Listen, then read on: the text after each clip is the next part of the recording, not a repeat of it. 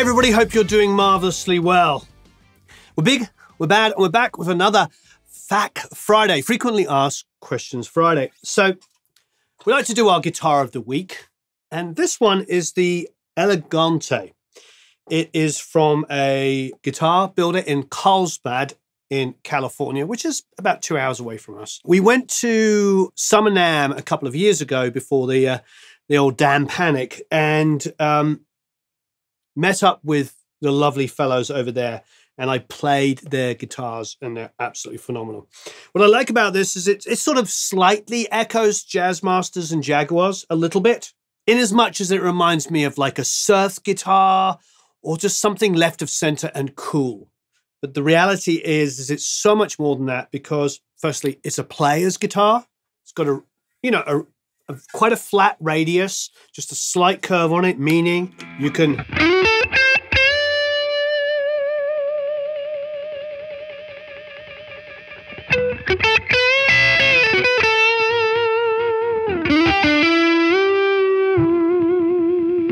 You can get bends because they're not going to choke with the radius, you know, being a little bit too curved. It's super slinky if you want to.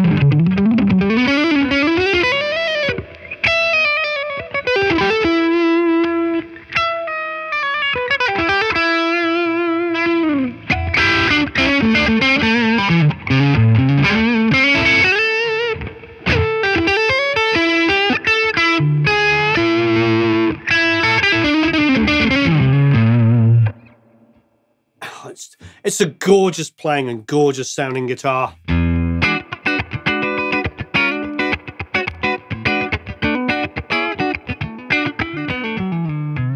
Now they do other guitars based much closer to, you know, Telecasters and Strats. There'll be a link below. Go and check them out. This is not a paid endorsement. This is just an endorsement of a guitar that we love and that we use all the time. So, huge fan, plays absolutely gorgeous and uh, really, really well set up and just everything about it.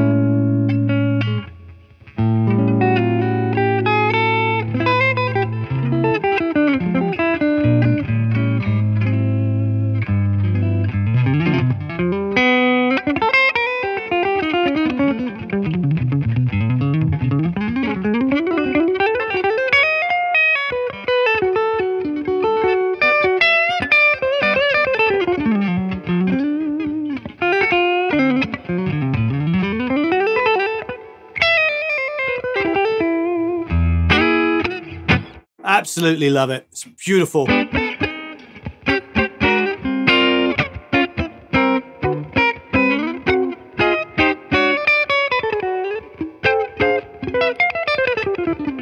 Work of art. I love it. Don't you love it when craftsmen just get let loose and produce beautiful instruments? And what a guitar to have on stage. Imagine how this would look under lights. Really, really cool. So that's it, the iconic guitars elegante. So let's get stuck into some frequently asked questions. So this first one is, well, it's a big one. I could just say yes for the answer, but the question is, is it truly possible to mix a radio rock hit 100% in the box? Yes. Next. No, it it really is. And so many mixers now are entirely 100% in the box. It used to be maybe 10 years ago, it was maybe 60 40 towards console mixing over in the box mixing. Now I would say it's not even 60 40 towards in the box. I think it's, I don't know, maybe 80 90% of what you hear is mixed in the box these days, especially on commercial, like heavy rock and rock stuff is rarely mixed on consoles, especially as a younger generation is now coming in and dominating, you know, radio. Quite frankly, most of the names that we knew from maybe the mid 90s to the early 2000s aren't mixing big modern rock records. Increasingly, producers, engineers, and mixers are the same person. One of the things that um, for me, when I first got started, was the barrier to entry because of the gear. I mean, having access to the gear. You go into a room with an incredibly famous producer or engineer or mixer, and it was all about the budget that was there to go into that room and be with the SSL and all the outboard. And what DAWs did is they leveled the playing field. And now it's all about your ear and less about the gear. You know, there's a reality of, you know, when you made a record on a four track, doesn't matter how good you were of the mixer, it still would sound like a four track cassette. There was noise, there was an inherent issue. You can never get it that loud, you can never get it that powerful. But if you mixed it on an SSL off of 24 track, it was always going to sound bigger and fatter. So that barrier to entry was so high that only a very small echelon of producers, engineers, and mixers got to use incredible equipment. Now, God bless DAWs, that barrier to entry has lowered so much. And then bring into the fact that current producers, engineers, and mixers are recording into DAWs. A lot of them are using really great outboard to capture the sounds they want. But when they come to mix, they're using headphones, they're mixing in the box. The plugins are insane, the choices we have now. If they want to have old gear, they can use emulations, but they may have already recorded it the way in they want to hear it. So the mixing process is really just that. It's just panning and, and gentle amounts of compression and EQ. But if they want it to be loud and big and slamming, God, the wonderful thing about digital is we can use you know, limiters to bring things up. We've got multi-band compressors, we've got dynamics, EQs, we've got all kinds of things. So no matter what your genre is, mixing in the box can work for you. Don't get me wrong. I love coming out on my SSL. I absolutely love it, but it has a sound which I love. But if I'm competing against something on modern rock radio, I will think very seriously about mixing it entirely in the box because I want it to sound loud and slamming. And for me, when I think about guys like Mark Endert, who were the ultimate SSL mixer as far as I'm concerned. He used to mix on a 9K or a 9J, 72 channels, moving faders. The guy would spend one or two days on a mix, not the 20 minute mixes that we're used to hearing about with the top guys. This guy would spend one to two days, and the detail in his mixes was insane, still is insane. You go in and you see little tiny fader moves, and it was just beautiful. Nothing, you could never hear the compression, but things were always big and fat and loud. I loved his mixes. Then he moved to Florida and flew the console out, reinstalled the console in Florida. Then he started mixing in a summing way. And so he built like summing amps and he went back and rejiggled all of his work so that he could use SSL style plugins to emulate it, going through the summing amp. And then he said to me one day, I can't remember if it was he was forced to or whatever, but the situation was is that he didn't mix through the summing amps. And he realized that even without those line amps, he could get the results that he wanted. And when I see a guy like Mark Endert, who's a true artist as a mixer, and I see that he's mixing entirely in the box now, my hat's off to him. And it basically says, yes, it's possible. Not only is it possible, but when guys at that level are mixing in the box, you know it's a reality and the argument's gone. Now, when it comes down to like analog versus digital kinds of methodology, i.e., breaking out through all analog equipment or just staying entirely digital, the conversation is less about like what sounds better or what is better in the mix. The conversation is this it's as simple as this. What do you prefer? What, what do your ears prefer? What does your what do your hands prefer? Do you like tactile pieces of equipment? Do you like to reach over and boost and cut stuff? Do you have a um, you know a love for outboard equipment? Are you happy with all the emulations of that stuff or whatever it might be inside of the box? The reality is mixes can be done at the highest possible level inside of the computer these days, inside of your DAW.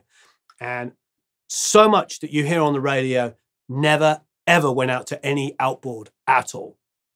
And it's not just the pop stuff, it's increasingly, as you're asking, rock music is being mixed entirely in the box. Warren, I often hear you say if it sounds good, it is good. That sounds pretty straightforward. But what if I have bad taste? well, let me tell you, I've told this story a few times before, and uh, my wife, if she watches this, will uh, wring her fists at me. But my father in law goes on a cruise ship some few years ago. And the crooner guy on the cruise ship has a CD. So my father in law buys a copy or takes a copy of the CD and promises the crooner guy that I'm going to review it, gives it to me and tells me, yes, you know, I promised that you would listen to this and give him your honest opinion. like, thanks. So I remember we were in my wife's car when we were driving home, and I put the CD in like the center section of my wife's car. I didn't go back to the car for a couple of months. Yep, two months. And eventually I'm like driving a car again, and I look down to the center section, and there it is. There's the CD from the cruise ship Crooner. I put it on, I listened to it. I listened to like half a song, quarter of a song, beginning of some songs, and I went through the album maybe in about five or 10 minutes, skipped through a bunch of songs, and then called my father in law. And I said, Hey, just wanted to let you know, I just listened to the, the, the uh, cruise ship singers CD that you gave me to listen to. And of course, he was like, Oh, I was wondering when you were going to do that. I promised him, like, thanks. He says to me, What did you think? And so I said, well, before I tell you what I think, what did you think? And he goes, Oh, it's dreadful. At which point I said, I agree, it's terrible. And I said, Then why did you give it to me? And he goes, Because I'm not a professional. And I wanted to hear your opinion. So, what's the moral of that story? The moral of that story is we all can hear things. I get 100 emails a day saying, please review my CD, Please review my single, please review my EP, review the latest recording, the mix, and obviously I can't go and do all, all of those. You can book me if you want to do it, but generally speaking, hundreds are hundreds of attachments of MP3s. When somebody does book me and I listen to it, they'll say to me, What did you think? And I will do exactly the same thing. I'll say, What did you think? And they'll say, You know, I felt like the low end was a bit bit big and the bass was like kind of covering the kick drum and I couldn't hear any definition down there and it felt like it was over compressed the whole mix.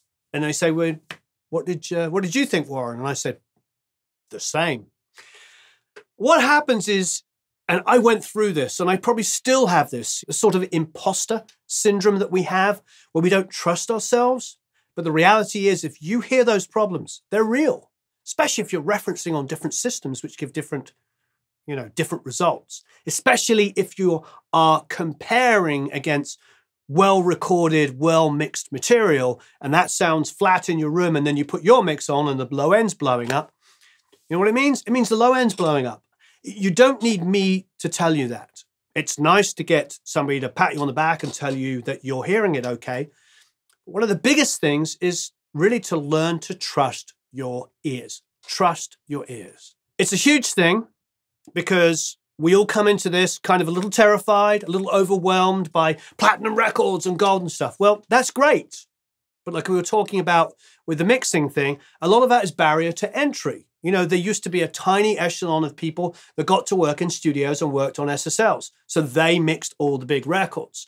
Like we talked about earlier, now the playing field is level and there's so many young, up and coming guys and girls that are making incredible records and mixing them. It's not all just that tiny echelon of pop music. There's a lot of other great music. There is guys and girls like you watching that are doing great things. Trust your ears. If you hear a problem, it's a problem. You want to check it and reference it on other systems, do that. But the sooner you can trust your own judgment, the quicker and better and easier and faster you will learn. So trust your ears. So when you're saying about bad taste, I mean bad taste is is is I know it's a joke that you were making, but you'd have to have bad taste in as much as like I only like listening to music where the bass is the only thing you can hear. Trust your ears, trust your own judgment, and just go out there and make great music. Do you use songs in the key of life as a reference mix, as there's always seems to be a copy hanging around somewhere in the background? Thank you for pointing that out. At the moment, there is two eight-track cassettes of uh, songs in the key of life there. There's usually the vinyl up on the console. It looks like it got taken down when we were swapping out the speakers. And just so you know, we do still have the Baby E's, the SC205s up there, and we have been working on them we did two rough mixes for Mark Martel that we sent him that were mixed on that. We did um, last week when we had the Adams up, we did some rough mixes on that as well. There's multiple reasons why I own multiple copies of Songs in the Key of Life. Number one, it's in my top five albums of all time. Some days it's number one, sometimes it's number two. It's usually uh, Night of the Opera by Queen, of course. But Songs in the Key of Life is right up there for me. It was a life changing album. Having it on eight track cassette is reminding me of the fact that my father had it on eight track cassette. And the first time I ever heard that was in the car with him. And Stevie Wonder is an inspiration on all levels. On all levels, he was a huge child star who is not just a kid that could sing in tune. No, this guy can play multiple instruments to the highest level. Incredible drummer. If you haven't yet, please, please, please watch The Summer of Soul. The Summer of Soul is an absolute masterpiece. About two months ago when it came out, I did post about it, so many of you may have already seen that post. It's an incredible concert that happened in Harlem over quite a few days in 1969. And this footage is amazing. The performances are incredible. Nina Simone's in it, Stevie Wonder's in it, um, Sly and the Family Stone. I mean, the list is endless. BB King, all absolutely incredible. The footage is beautifully restored. The audio is incredible. This footage was done in 1969 and then just sat there and was never officially released until the rather wonderful Mr. Questlove, I'm sure you all know him, famously the drummer of The Roots and also the musical director, and just an insane talent. He got hold of the footage and directed possibly one of my favorite movies on music, at least since the Queen movie, just as important to me. You've got to watch. If you haven't seen it yet, Summer of Soul. Stevie's in that. Stevie would have been just 19 years old. And you see him play drums, and he's absolutely phenomenal. What an incredible talent. So I keep it up, keep the album up purely and utterly for inspiration. I mean, that album has so much depth in songwriting, in performance, in production. It's a masterpiece from start to finish. I believe Elton John called it the greatest album ever made, bar none, something like that. I mean, he basically, not basically, he did say it was the greatest album ever. And I wouldn't really argue with him. Between Songs in the Key of Life and A Night at the Opera, those two albums shaped me more than anything else, except maybe the MJQ. My father used to always play Milt uh, Jackson and, and just like the MJQ. Oh, what a band. And of course, the classical music I grew up on. But those two albums, wow. So go check out Summer of Soul. Thank you ever so much for asking that great question. I don't reference it for mixing, I re- reference it for music um, and everything, inspiration. Yeah, the mix is incredible. It's incredible, absolutely incredible. But it's there to inspire me in everything I do. If we can come anywhere close to the greatness that Stevie Wonder had, that would be insane. Um, we do actually have a video on Stevie Wonder. There will be a link down there as well. So check out the Stevie Wonder video. Go watch the Summer of Soul video. And of course, go and check out the rather wonderful, iconic guitars. Great people. Thank you ever so much for watching. Have a marvelous time recording and mixing. We'll see you all again very, very soon. So long, farewell, auf Wiedersehen, au revoir. There's a couple of giveaways this week with the Kali speakers and the Eve speakers. Don't forget to enter to win a pair of those lovely speakers. Cheerio. Goodbye. Tschüss.